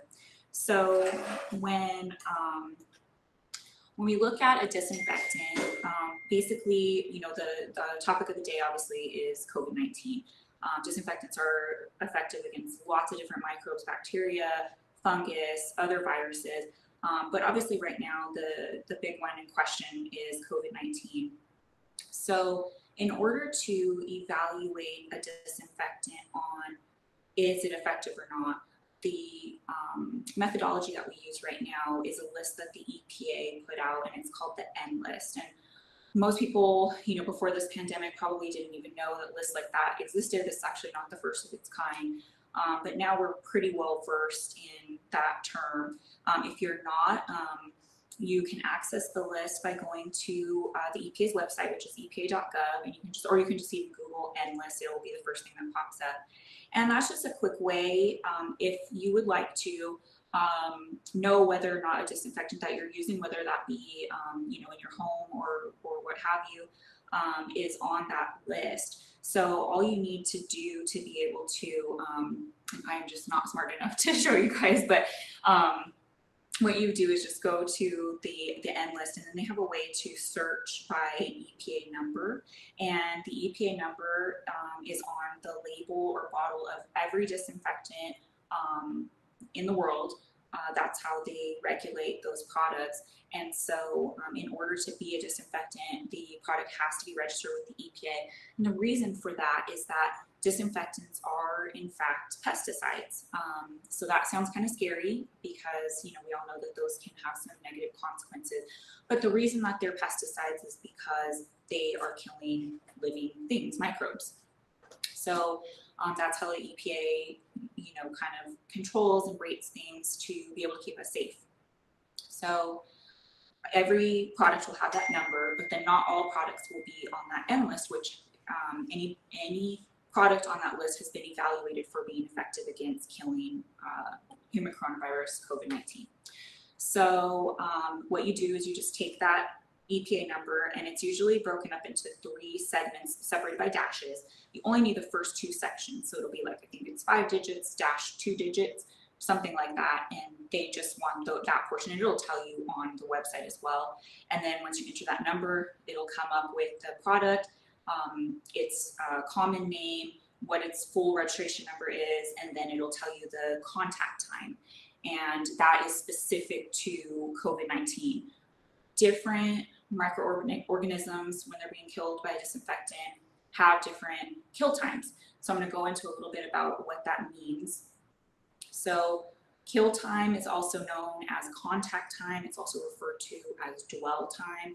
What this all means is basically the amount of time that that chemical needs to do its job, which is to kill that particular microorganism. So for example, the product that we're going to be using in the classrooms, and I'll, I'll show you in more detail in just a moment, is um, a product by 3M. And this particular product has a COVID-19 kill time of three minutes. So what does that mean? That means that any surface that it is either wiped on or sprayed on must remain wet for three minutes.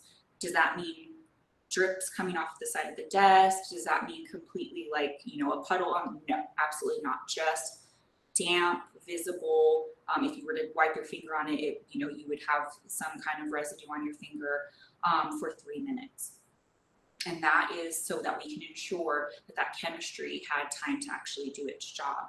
And um, this is this is a big topic. It might seem very common sense, um, but surprisingly it's not. And and it's okay. You know most of us shouldn't have to have a degree in infection control to be able to just live our daily lives.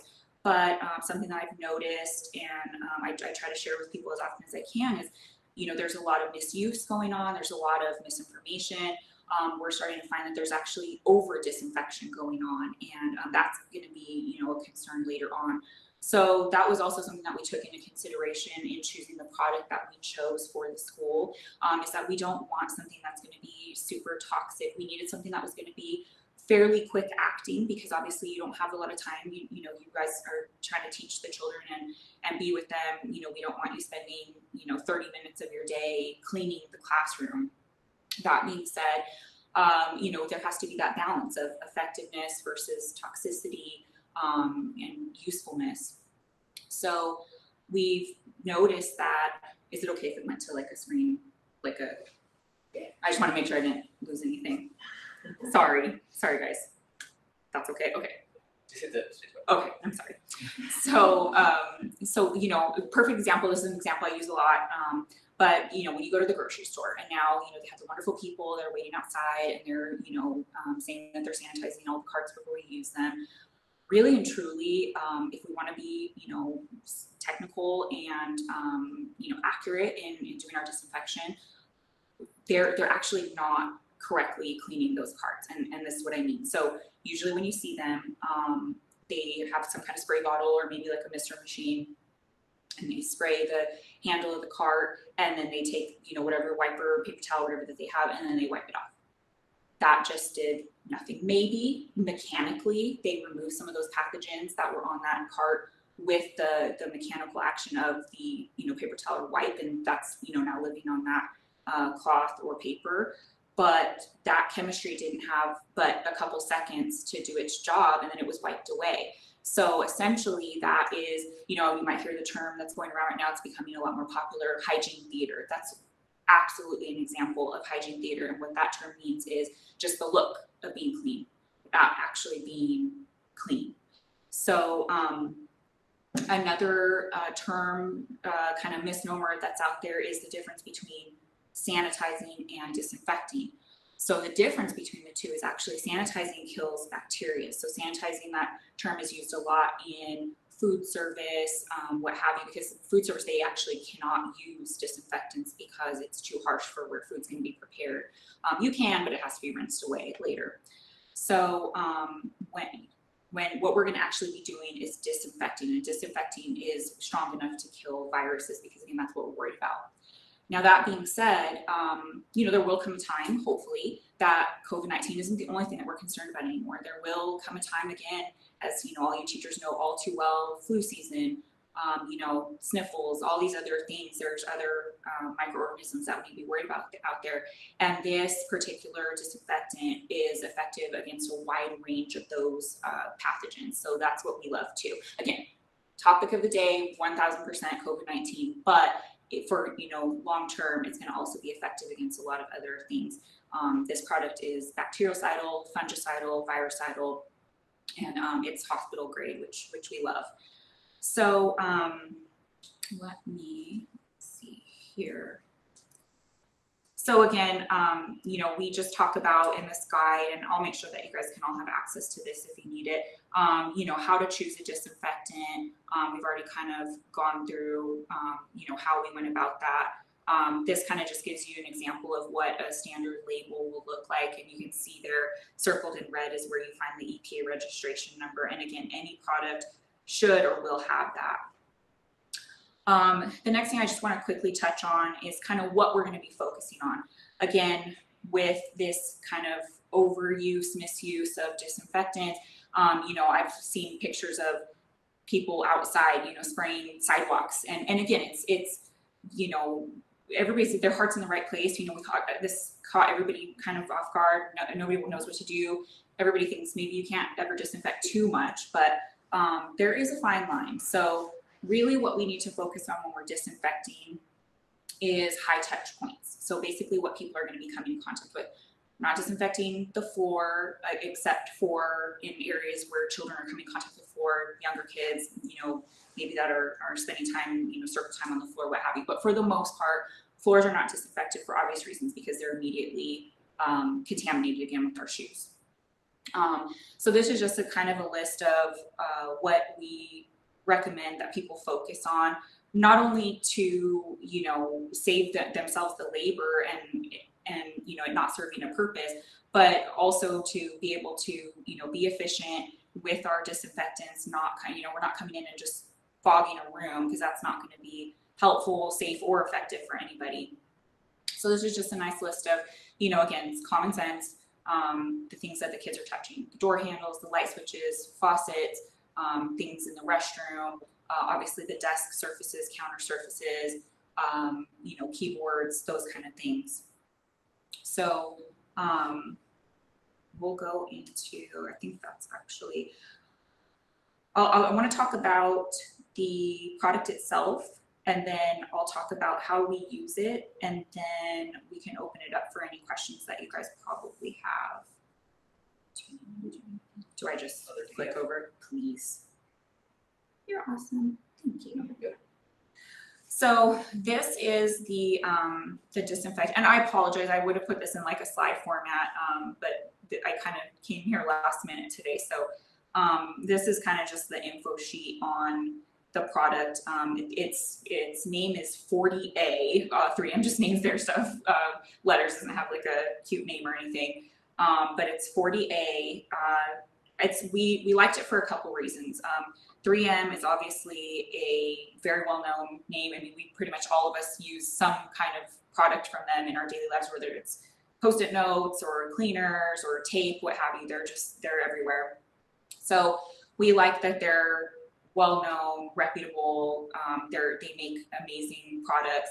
And um, this is something that a lot of other school districts are currently using. Obviously, many hospitals use this. Um, so we like that aspect. Um, we like that it's fragrance free, it's dye free. Um, it doesn't require any kind of mask or goggles or anything to be worn while it's being sprayed, which is nice because that just wouldn't make sense for you guys in, in the environment that we're using it for.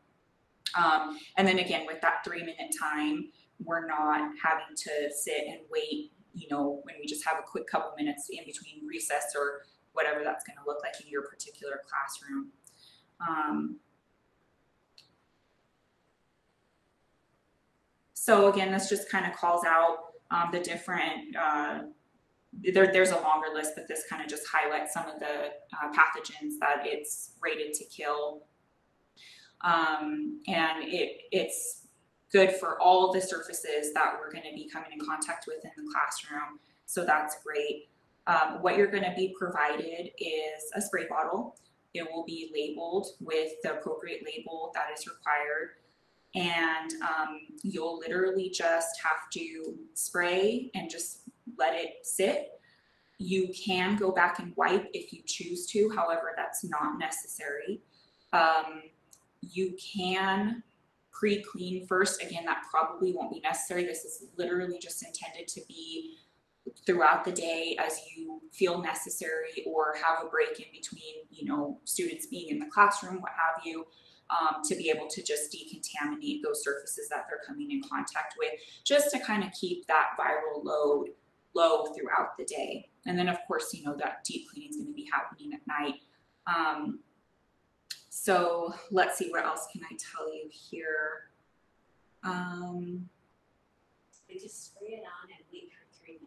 Exactly. Yeah. And and it doesn't have to, we're not looking for, you know, a stream. Um, just kind of misting is enough. And and then after that time, I mean, it definitely, you know, it's it's a very safe product. That being said, we really want to try to avoid do doing the spraying when the students are actually physically in class. Um, it's not going to be something that if you know it comes in contact accidentally in somebody's skin, they don't have to call poison control or anything. Obviously, it's a disinfectant, so like with anything like that, you know, definitely it would be poison control if somebody accidentally drank it. But aside from that, um, it, it's not going to harm anybody. Definitely, if you got it on your hands or something, you probably want to wash them anyway. But it's not going to be, you know, burning you or hurting anybody. Again, that's part of why we chose it. Um, so yeah, really, we just want to focus on probably the desk surfaces. Um, again, the keyboards, um, the shelves, yeah, the, maybe the door handles, the handrails. Um, you know, maybe if you if you're in the younger grades, uh, if there's manipulatives that they're using. Um, it's just really meant to be simple, um, a tool for you, not a burden, definitely not like an extra, you know, chore. You don't have to be going around. Um, it- it's just, you. wiping necessary. No, absolutely not. No, Miss Moore was saying wiping necessary. No, um, you absolutely can. Like, say if you just feel like, oh, it's been three minutes, it's still a little wetter than I'd like it to be, and the kids are about to come back and put their papers there, you could take a paper towel and just quickly wipe it away. Any, you could do anything you want after that three minutes has passed. Yeah, I think that's kind of it in a nutshell. I hope I didn't go through it too fast, but um, what questions can I answer?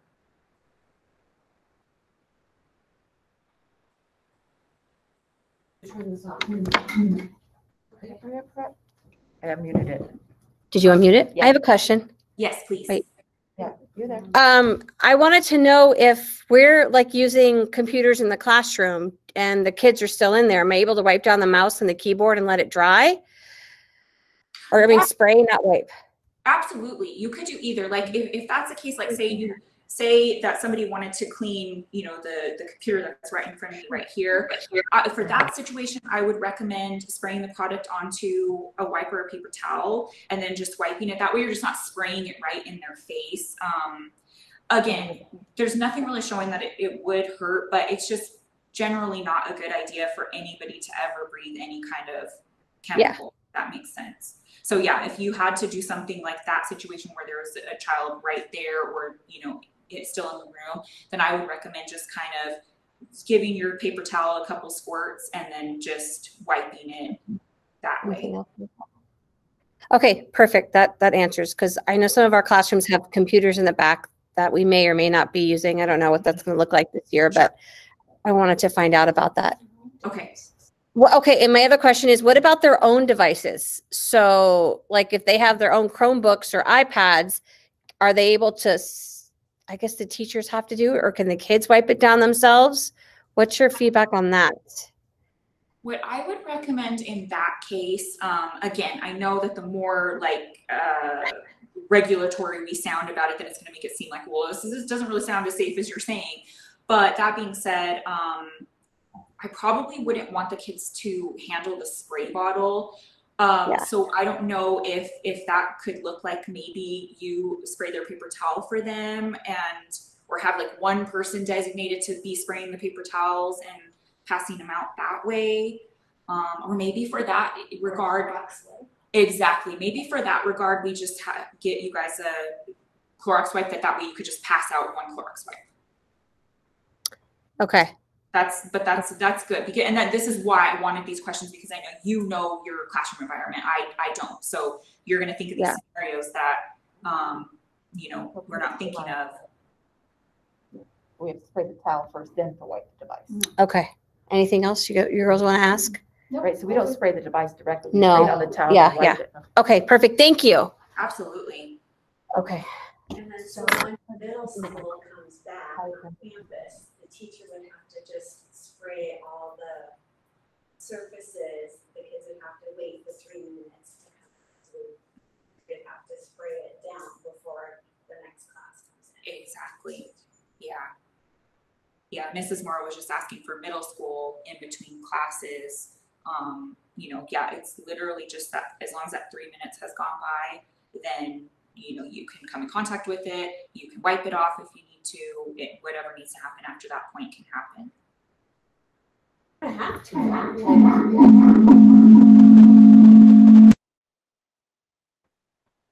Any other questions? Any other questions? I have a question. Yes. Um, please. are we just gonna spray the surface? We don't wipe it at all. We just like spray it and then just let it go for three minutes. Is that right? Exactly. It can just dry on its own. You Okay. have the option if you need to, want to, just feel like it, wiping it after. Just, Right. but you can absolutely just let it air dry. Okay, thank you. Mhm.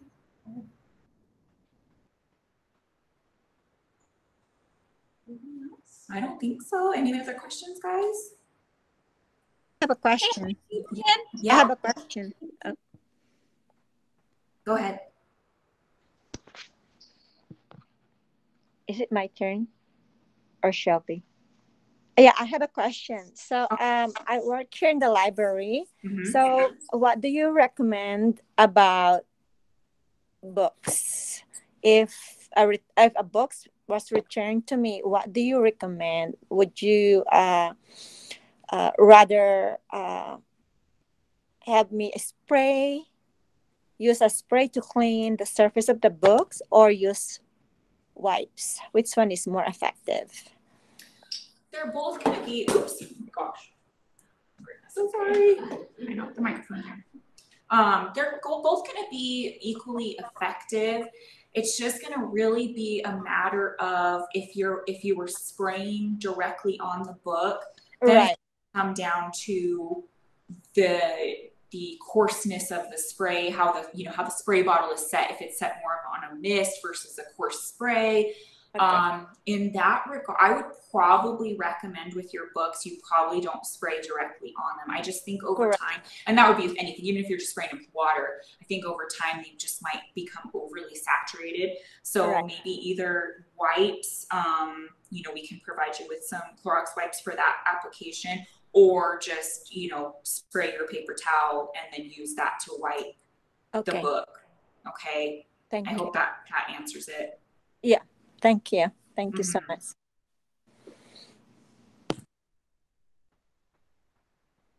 Was there another question? Question. Yes, please. Can you hear me? Yep. I can hear you. Um, so the kids are bringing in certain supplies, one of them being Clorox wipes and, um, um, you know, like baby wipes. How do we incorporate that? Should we not have them bring, you know, bring them in or, um, Yeah, have. we incorporate them- that? Yeah, you can have them bring them. Basically, what what this product is is being, um, you know, the the main purpose behind it was something that could be quick for you. So imagine if you had the option to either go around with the spray sprayer or go around with a Clorox wipe, like the amount of time that it would take to use the wipe versus the spray. So that was our thinking. Now, that being said, I think we've already identified a couple scenarios where a wipe would be more useful in this case. So, absolutely, because the Clorox wipes are going to have about that same dwell time as the spray that you're going to be using. It's about two to three minutes on Clorox wipes. So, Okay, so um, not using one or the other is going to be more effective? I mean, like if we use wipes, okay. yeah, they're both going to be equally the same. Like I said, they're right in that range, um, you know, same range. Okay, thank you. Absolutely. I think- Mrs. Ingram, did you have a question? No, you didn't. Did we answer it? Say hi to Adrian for us. Oh, you're so sweet. Thank you. I will. He's he's uh, missing school. Anybody else? You guys are awesome. Good. Smarties. Thank you, Mrs. Nuñez. Absolutely. Thanks, guys, for tuning in. All right. See you later.